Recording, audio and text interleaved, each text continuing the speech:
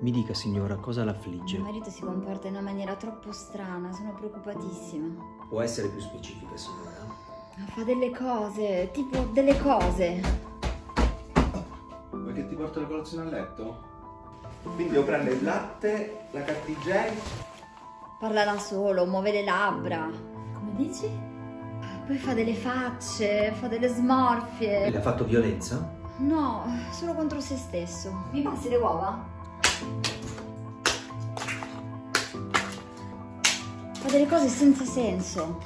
Ma chi l'ha rotta? Ma perché sono, sono- sono tutte rotte? Come se avesse dei tic nervosi.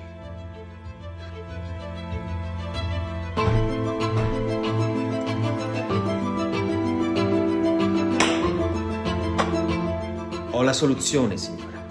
Suo marito ha dei TikTok. Le metta un telefono davanti e vedrà che tutto prenderà un senso.